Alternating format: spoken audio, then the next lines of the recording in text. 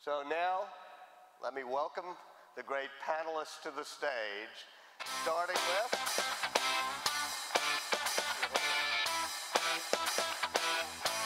Chairman of New Venture Fund, CEO of the Educational Division of News Corporation, Joel Klein. Teach for America alum, a hero of the city of New Orleans and many other places, Dave Levin. Another Teach for America alum and the hero of the city of the District of Columbia, Michelle Rhee.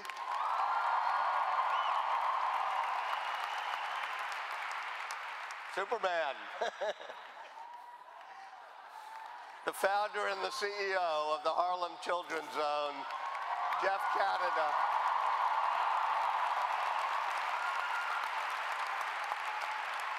And the superintendent-elect of the Los Angeles soon-to-be unified school district, John Deasy. Thank you all very much.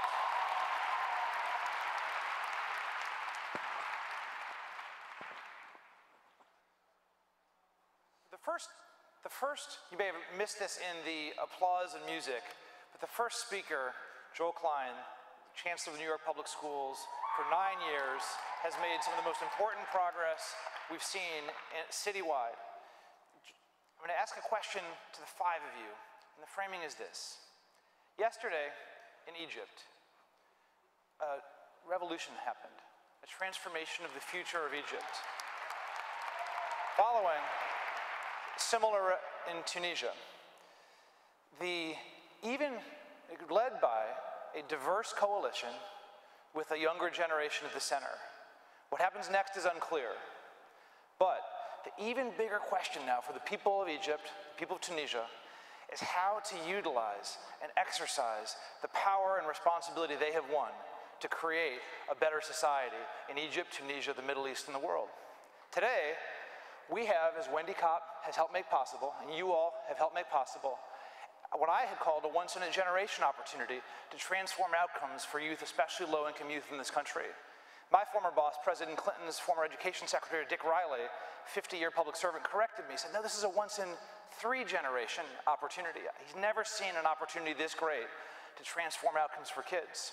So I'd like to start with um, former Chancellor Joel Klein, and then we'll go down the panel for no more than two minutes each so we can get through a lot of questions in this panel. What makes this such an unusual and historic opportunity? And what is the single most important thing you think that this group, this country needs to do to seize and not squander that opportunity in the next 10 years? Joel.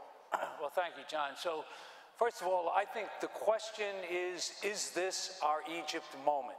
We come together, never more impressive 11,000 people in this room. I congratulate Wendy, my colleagues. But the real question is will we seize the moment or will we, as we often do, talk to each other, feel good, go home, and think we've accomplished something important? And I challenge us to make this our Egypt moment, folks, because our country cannot wait. What's different now? Two things are different. One, unlike when I started a decade ago, we now no longer believe that poverty is destiny. We actually believe, because of the work of people inside this room and elsewhere, that we can educate kids to an entirely different level. So the excuse that we used to permeate our culture is no longer there. Second of all, everybody now understands the future of this country depends on getting entirely different educational outcomes. Whatever short-term issues we face, this is America's issue, and it's not just perceived in this room, from the president on down. And the real question, what will change it? It's quite simple. Each one of you insists that every single school out there is a school you'll send your kids to. Until you have that, then it doesn't work. Whose kids should go to the schools your kids don't go to? And I'll tell you whose kids go to those schools. They're children of color and they're children of poverty in America. So it's quite simple. How we get there depends on taking Wendy's paradigm one step further. To hell with incremental change, forget about transformational change. We need radical change in K 12 education.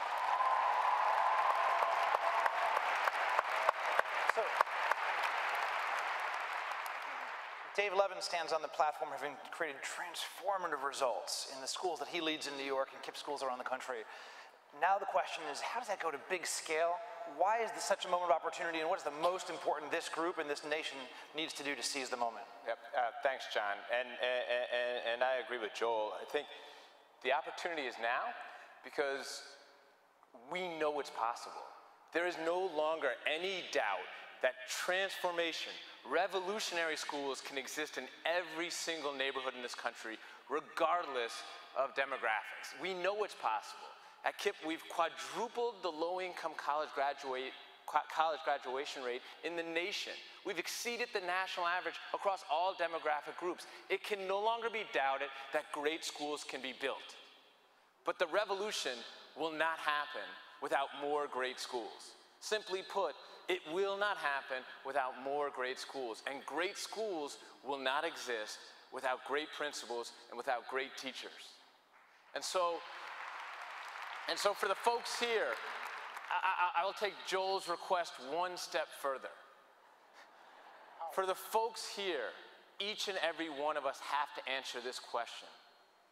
What can we best do to serve the revolution? And if you out there can be a great principal, if you out there can be a great teacher, if that's what you wake up in the morning thinking about, then that's what this revolution needs for as long as you can humanly do it, because there will be no revolution without great public schools.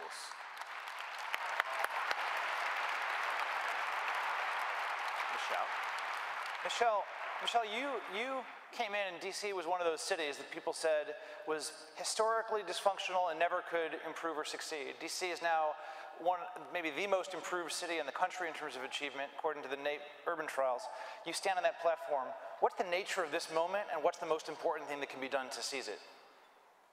I think what makes this moment different, and I've been in this game for 20 years now, and I, I think that we are at a place that I've, I've, never seen before in terms of the ability to really, really push forward. Uh, I think part of it is that that education reform has now hit the mainstream right? So for 20 years, you had people like Dave and Jeffrey uh, out there sort of in their individual schools doing amazing work, and they'd have to try to convince some rich person to bring their, couple of their friends in to hear about and see what they were doing. Now we've hit the mainstream with Waiting for Superman and NBC's Education Nation, normal everyday people not that we're not normal, but normal everyday people are actually beginning to understand what's at stake and what's happening. And if I have to hear one more person as I'm out visiting state legislatures say, well, we just need a proof point. We need to know what works. And then if we knew what worked, then we would replicate it. And I always say, no, we already know what works. If you look at KIPP, if you look at HCZ, if you look at all that, we know what works. We just don't want to do it. It, I mean, this is the, this is the reality. This is hard stuff.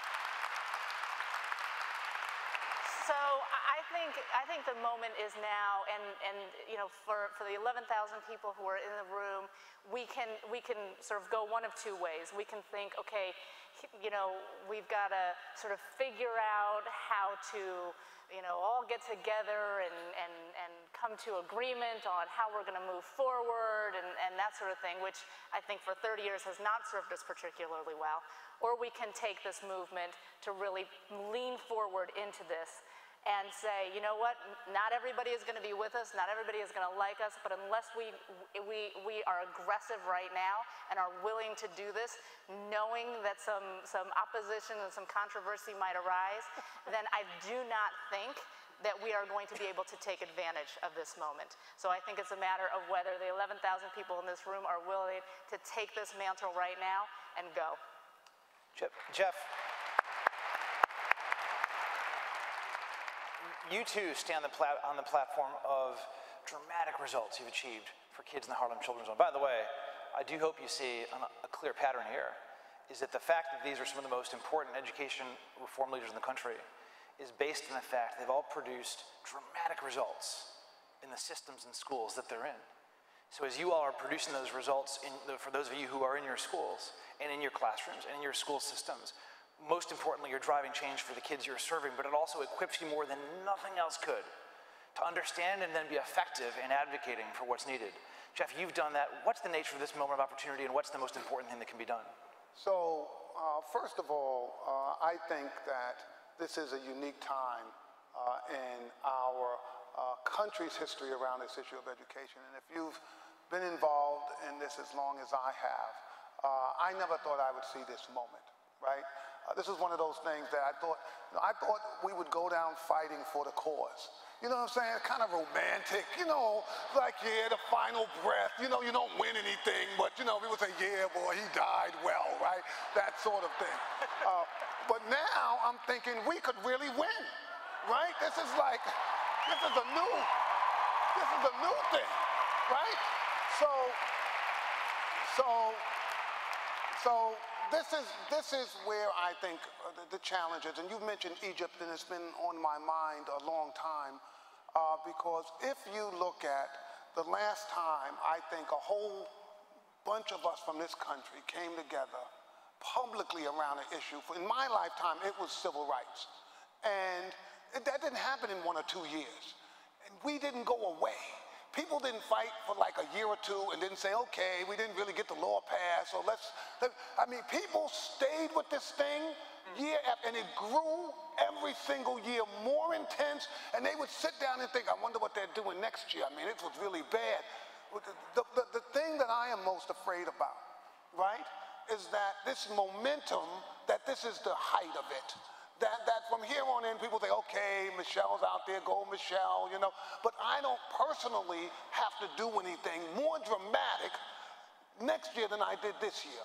Uh, we have to understand that as a nation, we've become soft around fighting for what we believe in. Uh, that that issue and, and, and, and, let me just let me just say a second, uh, just to define. I, I was up at Wesleyan uh, at the university, a lot of Black History Month stuff's going on. Wesleyan grads out there high. Um, but they had a picture, they had a, a, videotape of when Dr. King came to Wesleyan. He went to Wesleyan about three or four times. And I listened to Dr. King say in this like two minute thing, some of us are gonna die. He said, some of us are gonna die. And we gotta know that's the price that we pay if we're gonna change this nation. And I sat there and I got chills. And I said, look, I've been worried about the New York Times writing a negative article about me, right? You know what I'm saying? So how soft is that, right? This guy is talking about the ultimate price and are we prepared to? So my challenge to all of us is we got to understand that this is really like war. That, that, that whatever we've done this year is really nothing. It's about what we plan to do and when the call came in to me, I got a call, uh, and, and, and, I actually liked the person. I got a call from a, a, union leader who said, Jeff, now that that wait for Superman thing is over, uh, let's talk. And if you, I don't know, it was like the Batman movie where the, the, the, Joker comes and say, where did they get a load of me? I was thinking, where did they get a load of you all? This thing is just starting. This thing is not over. So I think we got to ratchet this up. So we're going to we're going to keep moving. We've got a, a, lot of issues and incredible insight here. We're going to get into issues of systems change, the nature of leadership, teachers' unions, other things. Before we go into a lot of specifics, John Deasy, you are about to take the helm of the third largest, second largest school system in the country. People say about Los Angeles what they said about DC and New York before Michelle Rhee took over the schools in DC and Joel Klein took over the schools in New York. It's not possible. Is dysfunctional if you could talk about for the country and or Los Angeles, what is the nature of this historic opportunity and what is the most important thing that can be done in order to seize that? Um, thank you. First thing I just want to say very quickly is anybody in this room who's taught a youth in Prince George's County, Maryland or LA, thank you very much. Don't tell me it can't be done in LA because your proof points, two of them are sitting right inside of the room. So you can't tell me this is not possible in Los Angeles. And you also can't tell me that we're not willing to die for the cause. For me, dying for the cause is turning our back on a youth who lives in circumstances of poverty in Los Angeles. One of our kids who lives under the freeway, one of our kids who has no parent. That is not going to be possible. We know it can be done. This is really an issue around courage. Um, we have the skill, um, how courageous are we going to be about the work? I think about the issues that lay in front of us, And many of these issues are going to be um, very risky. And if 11,000 people descended on LA to press for a cause, you can't turn back from that. The system, and I mean we are connected with our labor partners and the administration, needs to be pressed to a point where it works for kids and for the teachers in this room. It actually can't be a prevention any longer. It actually must work. And systems only work when they're pressed against very hard around that issue. So I think the idea is we go back to our places and we do great work in small cities. There is a power of the collective as we think about descending on cities en masse that I think is, is, is significant around that. So let me just follow up, John. I mean, you two stand on the platform of the transformative results you've achieved, leading tr tremendous reform in Prince George's County, your work at the Gates Foundation elsewhere. You're now arriving in Los Angeles. There, are, I bet, are some people in this room who are in Los Angeles. Yep. In Los Angeles, could you describe, and by extension, you, could, you can imagine what is needed in other communities around the country. Right. For all the TFA alum, the corps members and others in Los Angeles, as you embark on the superintendency, what do you need from them in order to drive success in Los Angeles at scale over the next several years? So a couple of things. Um, en masse, come and join New Day in LA. I think that's very, very important. We can't just have what we have in the room. We need three or four times those numbers um, to come. Second of all is raise your voice as loud as possible about that we will not allow rules, regulations, and the system to put at peril high quality teaching at any expense.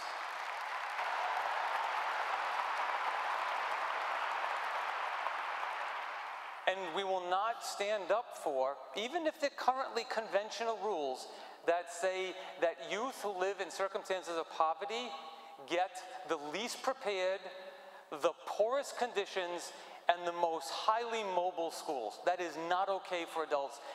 We are facing uh, serious and legitimate ways to think about not allowing that to happen for kids. It can't be one person, it can't be just a school board, no matter how courageous those things can be. The movement needs an organization to respond to it. Don't allow it not to happen. That would be one thing I would need. And then the third thing is be relentless about sticking around to help us out.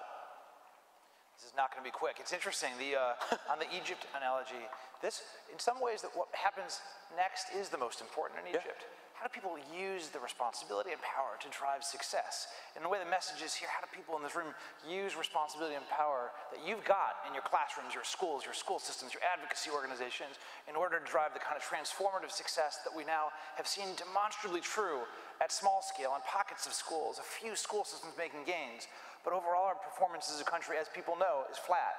The US used to be number one in the world in education. We had wild inequities that were awful. We still were number one we now have slipped to the middle of the pack among industrialized nations, and that's because we've stayed flat while some other countries are moving ahead, and our inequities have only closed this much.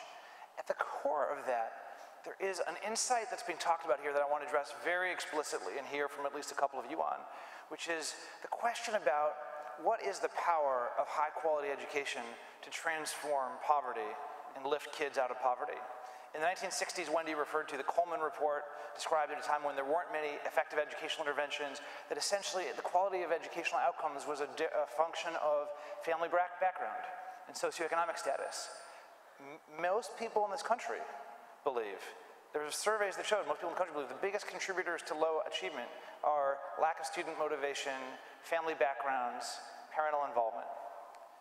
One quote I'll give you, uh, uh, probably here in this audience, Teach for America alumni, Colorado State Senator Mike Johnston, co-founder with me of New Leaders for New Schools, led a incredible reform effort that you know about in Colorado to transform the laws of Colorado this year to, along the lines that you're talking about to ensure excellence, accountability, greatness for teachers and leaders based on the notion that great teachers and leaders can be accountable for achievement. Let me read a quote. There was a lawmaker who was opposing the reforms that in the end, Senator Johnston, Teach for America alum, prevailed with a diverse coalition, civil rights groups, business groups, educators. The AFT affiliate even came on in the end, supported this, the NEA didn't. Um, the quote from a lawmaker who's opposing this kind of a notion of excellence and accountability for educators, for low-income kids, said, and I quote, if you were running a business baking bread and the flour came to you full of maggots and worms, you would not be able to produce a good product, would you? That was the quote. He apologized later. He realized how bad that sounded. he realized he shouldn't have said it that way. But he said, in fact, what that person believed. And I would wager what many, many people in this country still believe. So before we get to the strategy, which we'll get to in the systems change, a moment on that. What would you say to that lawmaker and Americans who believe the Coleman Report means that education is a function of poverty? What have you seen that really refutes that, that is the basis for the work moving forward? Dave Levin?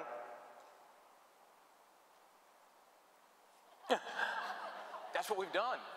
I mean, it's just wrong. I mean, the, the, the, the, the, the fact of the matter is we have seen transformative public schools in low-income neighborhoods offer kids the opportunity to transform. their- It's just not true, right? What we have also learned is that one year is not enough. So schools have to make, there's an implicit promise when a kid comes to school that it should change their life. That promise is broken in America. And we as a society have to understand it's pre-K, 12, through college and beyond. This idea that we're going to stop somewhere and smart eighth graders don't, I mean, smart eighth graders don't get a job, right? So as, as a society, we can't join the, if, if, if you're teaching, if you're running a school, it is not about the one year, the four years, the 12 years, it's about the rest of your life. And so we have seen countless kids who society would, would have written off uh, go to and through college. So that argument's just wrong. So the biggest point is it's actually demonstrably untrue. it's which, just not true. which Wendy said, you said 20 years ago, there were maybe a couple very isolated classroom schools, but this is significant. Schools like yours and others out there that have made that point demonstrably untrue, even if people don't believe it. John Deasy. I'm going to paraphrase a quote to start with. To the lawmakers and the people who want to hang on to the notion of Coleman, you get the right to your opinion, you just don't get the right to your own facts. The facts are that we have proof points in this country which show that not only is poverty not destiny, but those people who happen to believe they're wrong are parents and our kids. They know that there's an opportunity. They are begging for that opportunity. They demand that opportunity no matter what conditions they live in. So the opportunity that sits in front of us is not so much whether we want to believe this or not believe in this.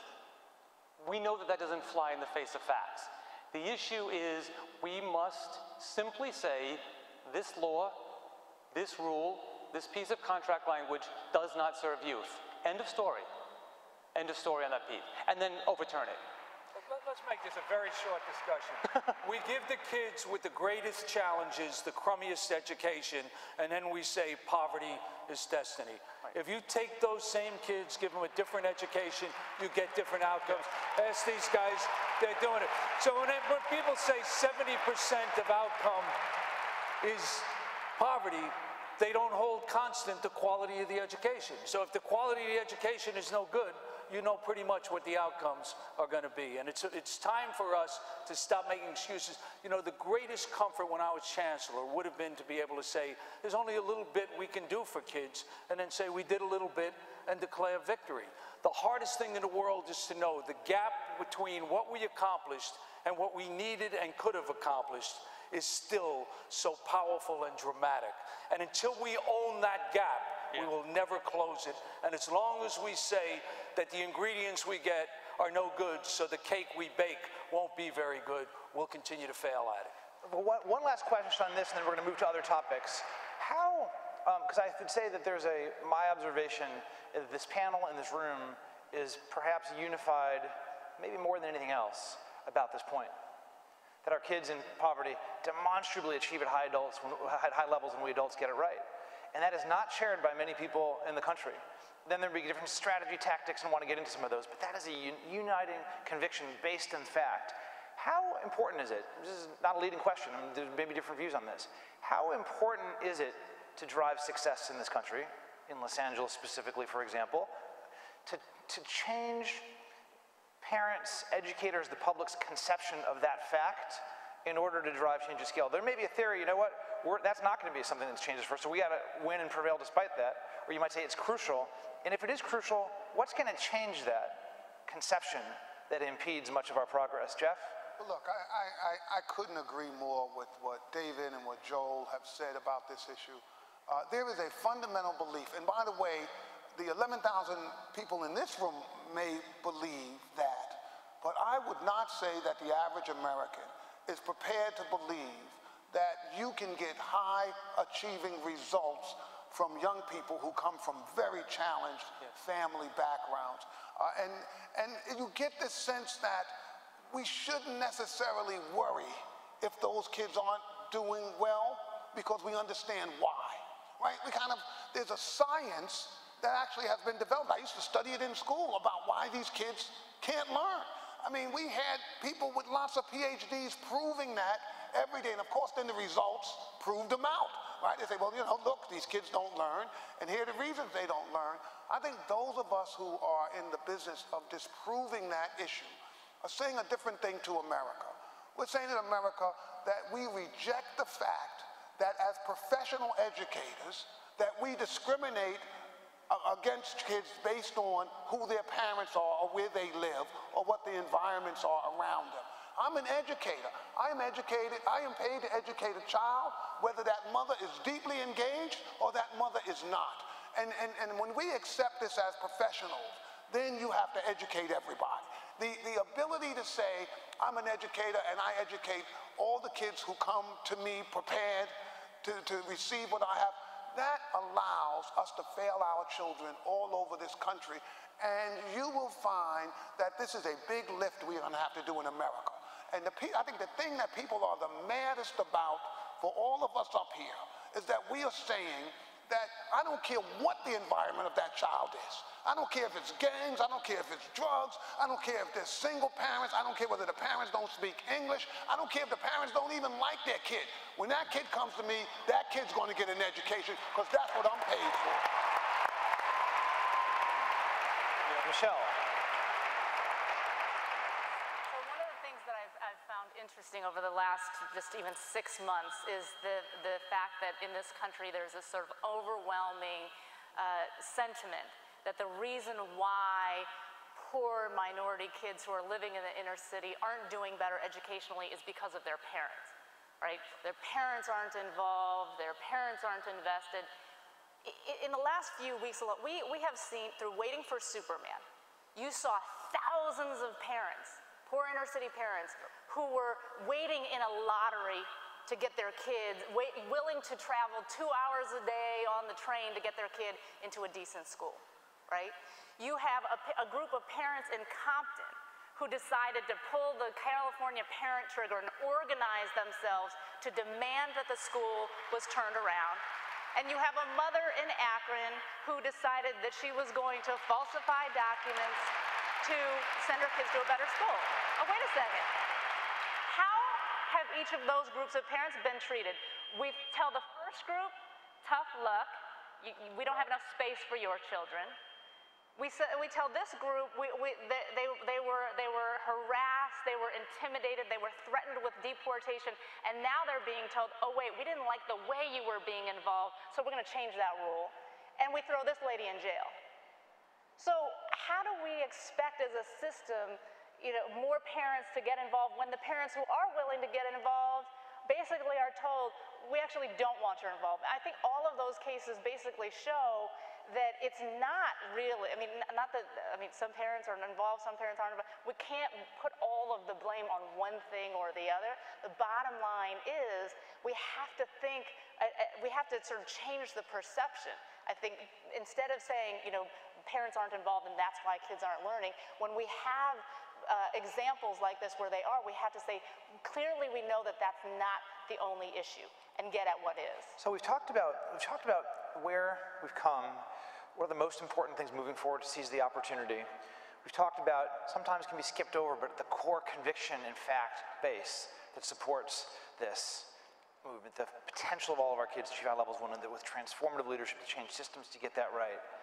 Some of that conversation was happening 10 years ago. There might have been a, we all were in conversations 10 years ago where we would have said that's true and we're beginning to see a smaller number of schools. Now the number of schools has grown dramatically in classrooms. Some systems are beginning to move the ball. We've got political leaders in both parties who are championing this, so there's been some movement, but overall the performance at scale of most systems in the country hasn't moved yet.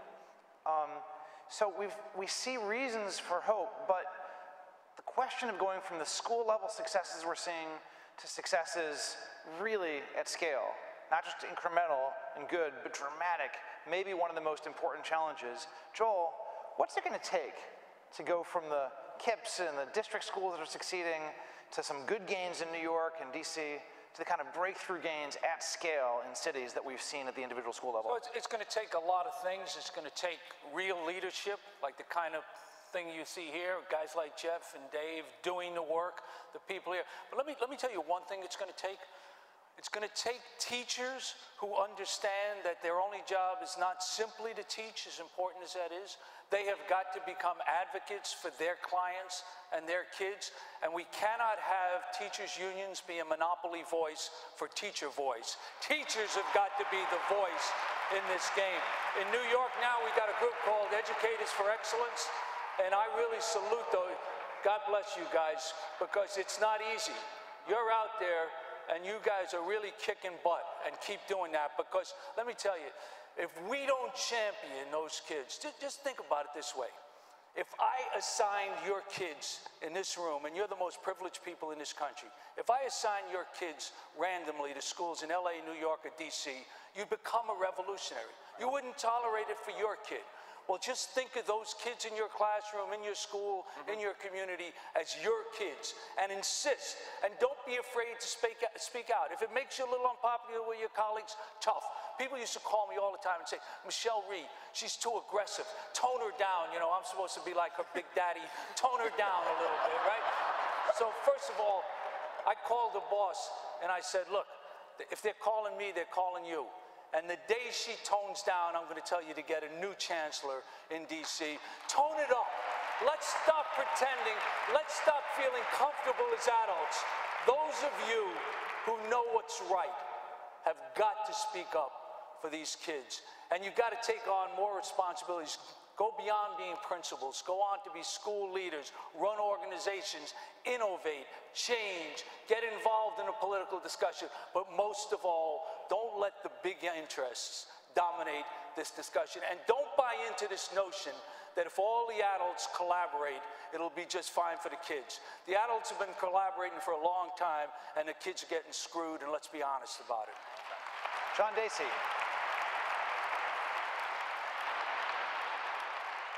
Completely agree with my colleague. I also want to point this very similar situation in Los Angeles. So inside of our union, we're watching New TLA, um, which is a group of teachers who are beginning to say the union actually needs to work for me in order to do my job for youth. The, the, the risk of stepping out is going to be, um, as you said, you're going to put yourself way out there. It's very uncomfortable. I just want to say, so what? We happen to be people of privilege. Our youth are not. This is not about being comfortable. This is about an absolute violation of their right. And we are not going to be part of violating kids' rights. It's very simple for me. It's, the, it's, it's not just being able to have one or two stand up, it is really the power of the collective. And we can look at what's happened in the last three weeks in Tunisia, and we can look at in Egypt. It was the power of the collective of Young Voice that rapidly transformed an entire country. How could we not rapidly transform just a school system? I think that can be happening. I actually think a major key to that sits in this room. John, a follow up for you, and then we're going to go into um, the, much that I'd love to hear from many panelists on this. There is a significant difference in perspective, I would say, even among people who are united around the conviction about our kids' potential and kind of the accountability that we've not demanded of ourselves in our systems for results, about the place of teacher unions. Um, and what is kind of the place of teacher unions in this reform effort, and what for the leaders who are trying to drive transformative change, whether it's teachers, school leaders, school superintendents, people in unions trying to drive change, political leaders, what's the right approach, do you believe, to seeing and working with or not the, our teachers' unions in this country, John? So I've only worked in places with teachers unions and labor, and, I think people have a very clear opinion of me that is very true. I have a deep respect for labor, both historically in my own life, uh, my family life, and work. Um, What I believe, however, is that the, the, the issue of how you work with unions has to be getting them to be courageous about what they want to talk about in the parking lot or what they might want to talk about after you leave the negotiating room, to be able to say when it matters. And this kind of whisper uh, understanding that we have problems, but we need time to solve them, there's no place for that anymore. There simply is no place for that anymore. If labor leader presidents chose any one of our contracts, that is dismissal at will, um, that I think rather than running for office and having to actually get the masses to agree to nothing, I think that actually is going to possibly flip the notion around this. And then second of all is the membership speaks through one voice, that's just crazy. The membership's voice is not being heard. I'm tired actually of going to schools and people telling me this is what I need, and I'm not being heard. Sure, you can be heard. You can be heard in many, many ways. I, I, getting that voice present around uh, the people who are actually working side by side with youth is an enormous piece. And second of all is you all vote. You vote for your board, you vote for your House of Representatives, and you vote for your school board. That's a piece of power you need to exercise. Michelle, on the teacher union question, some people would say that Michelle Rhee has the right approach substantively, but has made the wrong tactical step by demonizing teachers' unions. And that diminishes support for the kind of reforms that are needed. What's your perspective on that? So I actually think the exact opposite. I haven't demonized the teachers' unions at all. I have actually, what I'm trying to do is show people how brilliant the teachers' unions are. The, the, teachers' unions are doing exactly what they are supposed to do, right? People all the time say to me, how are we going to change the teachers' unions? How are we going to make them more reform oriented? No, we're not going to do that. The teachers' union's job is to protect the rights and pay and privileges and priorities of their members. They, they are doing that. And how do they do that? they have millions of dollars and millions of people, and they use those dollars and those people to get the politicians that they want elected, and the laws that they want passed, and the laws that they don't want blocked. They have, have, have, a, have a game plan, they are strategic, they are mobilized, they're doing exactly what they are supposed to do. Our problem is that we are not organized in the same way the unions are. They have a national teachers union, they, the, the, locals aren't figuring out what they're doing on their own. Everything comes from the national. They're all aligned, they're all consistent. We're out there as education reformers. Everyone's out there in their own city and their own district trying to do their own thing. We're all trying to make our own game plan up. We are not organized. We, are, we don't have a national agenda that we're pushing all together. And so we actually need to take a, a page from their playbook. And that's part of the reason why I started Students First, is to say we need an organized interest group in this country that has the kind of heft or more heft than the teachers union does because I guarantee you that we have more citizens across this nation who want to do the right thing for children, who want to put the priorities and privileges of children above all else. If we just get ourselves organized and, and get, get the politicians that we want elected, and get the laws that we want passed, I am telling you, we could have a, a hugely transformational impact on this country. The matter is just uh, how do we how do we bring people together, and that's what we're hoping to do through Students First. So can, I, can I just can I just jump in on this issue because I really think that part of the problem we have in this country is that the union's job is to stop innovation. It's to stop anything that challenges the status quo for folk. And, you know, I wouldn't care about that if the kids were doing fine. I'd be like, you know, fine, who cares? When kids are failing, and, and, you do exactly the same thing for 50 years, even though the results every year is that the kids fail. So you just imagine in your job, you were terrible at your job, right? And you do exactly the same job next year by law. You can't do anything different right? And then the kids fail, and then that goes over your whole career. You have to realize, people, this has been going on for, I'm 59, this has been going on 50 years. People have spent their whole career failing kids, and that has been the law. You may not change the school day. You may not change the school year. You can't pay people for, for, for being great. When, when the message to young people is no matter how good you are, you will make as much as the worst person in that school. I think we got a problem. That is a basic problem, right? So- and and people think I'm, I'm anti-union. I'm not anti-union. That has nothing. This is not about being anti-union. It's saying if if you have a history of blocking any kind of innovative reform, anything, uh, then you're the problem, and you got to get out of the way of the problem. Michelle's right. That's their job. But our job has to be to say to them, uh, you can't get away with that when it comes to kids. So, so we've got, got only a few minutes left. Quick thoughts on this question before we come to a final question. Quick thoughts from Joel and John. So look, I, we got to talk about what we need to do because they're doing what they're doing just fine, and we got to do something different. Three key things that'll change this. First of all, we have got to professionalize teaching and make it the most respected, revered profession in this country. We cannot, as Tim Daly and the New Teacher Project, we treat teachers like widgets, and that isn't going to work. Last in, first out is such a shame you can't say it with a straight face. You think our kids can tolerate a system built on seniority, not on excellence?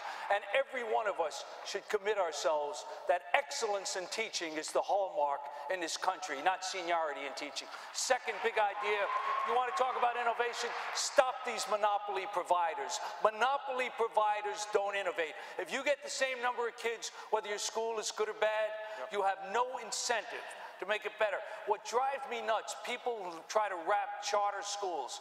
I've got 40,000 parents on waiting lists in New York City for charter schools. The arrogance of others to tell those parents that they shouldn't be on that waiting list and we shouldn't give them more of what they want. We insist on choice for our children. Other people should have choice for theirs. If you didn't have a guaranteed customer base, you would have to earn the children who come to your school. And when you do, you will then earn the outcomes that you get. And the third thing is, let's start to innovate.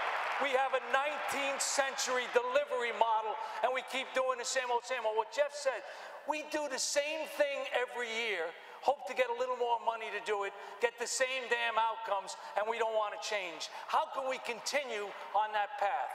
John Deasy, where do you,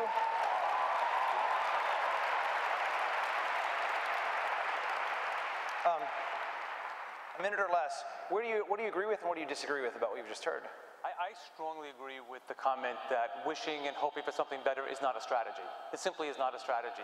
I think we, and we intend to think through this strategy issue very differently. We have just traditionally said, well, let's negotiate.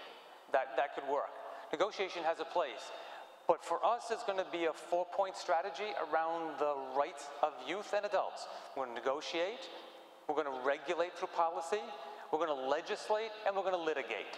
And the four points of this are that none of the traditional tactics alone have moved us where we're going to be. So when we have true violation, we're not going to hope for it to get better. We're going to go to the courts. When we believe that there are laws that are fundamentally blocking our opportunity, we are going to go to the Capitol. And traditionally, we've let others do that for us, not any longer. Not when it's our responsibility for kids, and we're going to demand others stand up around that, that strategy. John, quick, if somebody said, you know what, that sounds good, but it's not focused and clear enough about who are the problems, where the problems are, and it may not, it may lead to incremental change, not dramatic change in LA schools. What would you say to that? Let me be super clear for you then. So we're talking about uh, quality blind layoffs, first in, first out, with any regard whatsoever to performance. We're talking about meaningful tenure reform. We are talking about dramatically changing the way that we do performance management and, and um, evaluation for everybody in the system, uh, principals and teachers. And we're talking about the opportunity to fundamentally pay our best and brightest employees dramatically more. Differentiated compensation for differentiated results. I, I think that's pretty specific. Uh, Dave Levin, we're going we're gonna wrap this with you. Um, um, the KIPP schools, Yeah. you um, don't have some of the policy constraints that are in school systems. You've been working hard to build your pipeline of leadership. You've got some amazing educators. Um, how easy is it?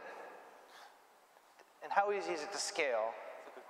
And looking at the people in this room, leader to leader, what's the most important thing that you've learned about what it takes to get the kind of transformative success that you've gotten to greater and greater scale?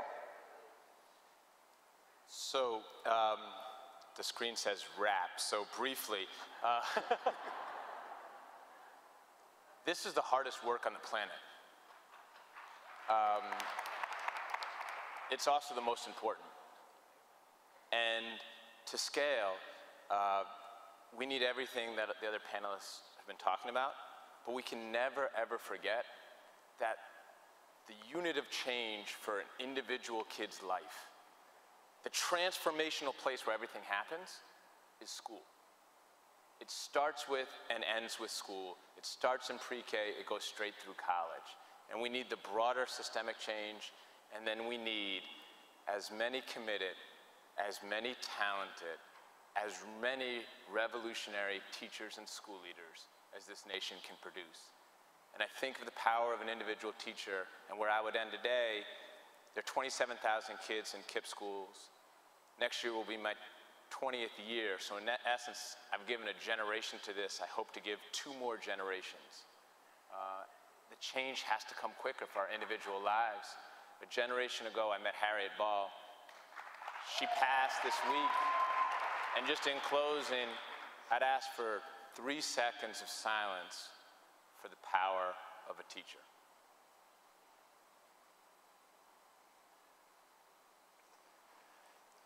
So the, with that, I, the most powerful message that I've heard for this room.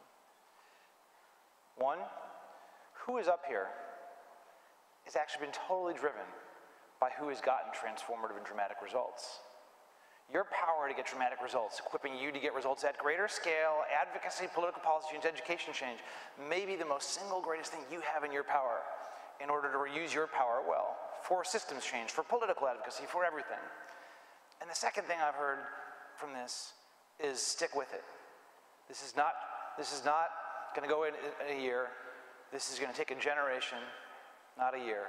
So whether you stay where you are whether you go to LA to help John Deasy drive reform in LA, whether you go to Harlem Children's Zone and make that even more of a national model than the great national models today, whether you sign up for Students First to help advocate for the kind of change, whether you go to KIPP schools across the country, whether you go to New York City to build on the reforms there, whether you go to New Leaders for New Schools before our February 21st deadline to become a school leader in our schools, the point is whether you go to any of our places or where you are, stick with this, and in 10 years, the changes that have happened in the past decade will seem small compared to the seismic changes that are possible.